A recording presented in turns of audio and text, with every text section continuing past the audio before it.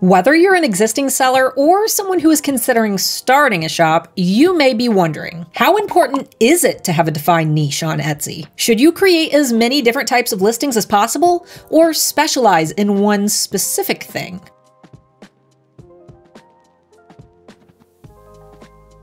For those who are new here, my name is Starla Moore founder of the Handmade Alpha Academy for Etsy sellers and manager at erank.com, Etsy's most popular SEO tool. And over at eRank, we analyze some of the biggest sellers on Etsy. I'm talking about the shops that are raking in over a million dollars in yearly revenue, which sounds absolutely crazy, but by analyzing thousands of shops, we can get a bit of direction about what shoppers prefer when it comes to where they spend their money. If you've been following my channel for a while, you likely already know that I'm a huge fan of niching.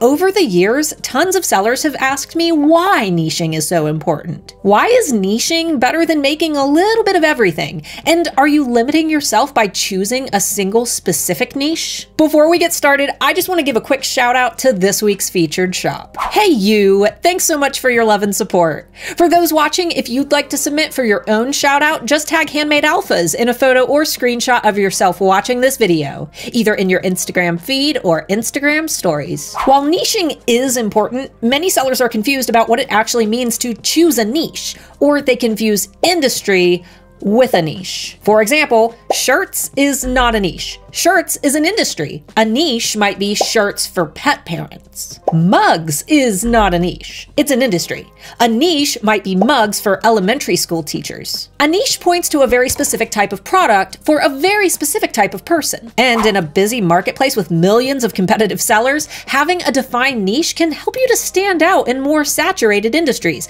like mugs and shirts. Think of it like this. You're looking for a beautiful silver necklace for your mom's birthday. Price isn't an obstacle for this purchase because when it comes to your dear old mom, quality is the most important thing. So you browse a few listings and narrow your search down to two necklaces. One necklace is from a shop that sells a little bit of everything shirts, mugs, jewelry, blankets, stickers, and there's no real cohesive theme that ties all of the products together. Some are for moms, some are for nurses some are for musicians, some are themed around pets, coffee, sports, the whole kitchen sink. The other necklace is from a shop that specializes in silver jewelry. In the shop's About section, the seller shares the story of how they took an apprenticeship with a blacksmith as a teen and have honed their jewelry making skills after years of passion and practice. Between these two shops, if you are looking for a quality necklace, which would you assume is the more trustworthy business? In the Handmade Alpha Facebook community, all of my members chose shop number two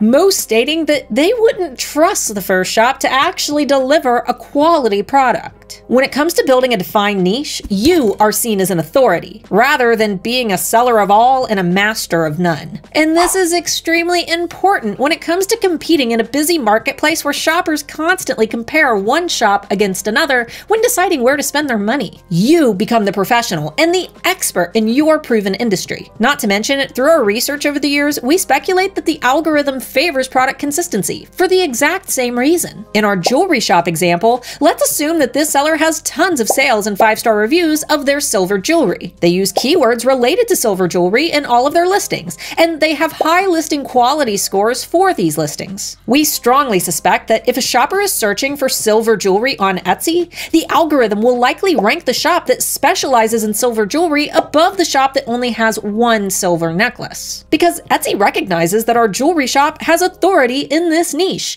and that they're very likely to deliver the best product and experience to the customer. In fact, looking at the top selling Etsy shops in the world, nearly all of these sellers have a defined niche, a clear indication that both buyers and Etsy favor shops who specialize. And sure, there will always be exceptions. Anytime I discuss niching, there's always a few sellers who comment to say that they do well selling a little bit of everything, which is great. If you're finding success without a niche, definitely keep doing that. But for the new sellers and those who feel like they aren't able to compete with bigger shops, it may be time to start thinking about selecting a defined niche. And the possibilities are seriously endless. A few niches that we've seen trending over the last 30 days on eRank include personalized jewelry, outdoor garden decor, teacher appreciation gifts, car accessories, adult coloring pages, and mental health shirts. And these are just to name a few. You can sift through hundreds of current Etsy trends by surfing through the eRank Trend Buzz and monthly trend report. You'll need a paid eRank Basic or eRank Pro account in order to see more than the top five trends,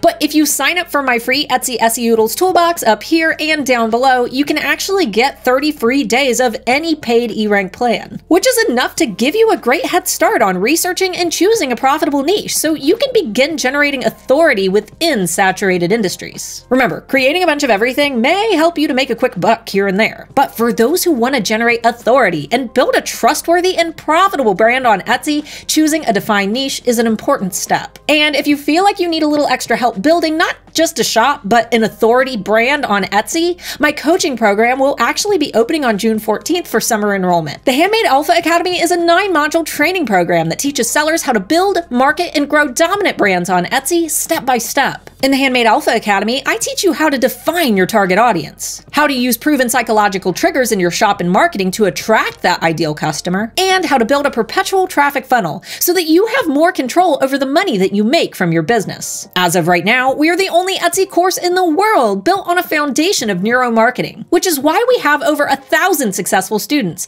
many of whom run their businesses full time. Not to mention, I'm so invested in your Etsy success that I personally buy each of my students a 12 month eRank Pro subscription so you can utilize the very best tools to grow your business. If this sounds like something that you may be interested in checking out for your own business growth, I've added a link down below and up here somewhere, where you can learn more about the program, our success stories, and the class curriculum. Overall, success on Etsy means building a brand with passion, authority, and authenticity. And with a little science, a lot of data, and some help from a trusted Etsy expert, you'll be well on your way to Etsy success.